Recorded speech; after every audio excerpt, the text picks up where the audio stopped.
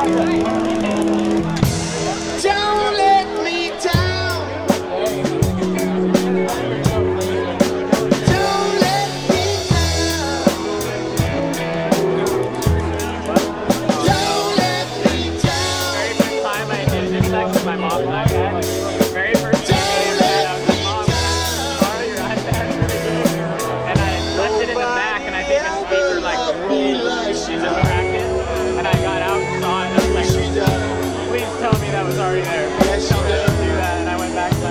Like, somebody.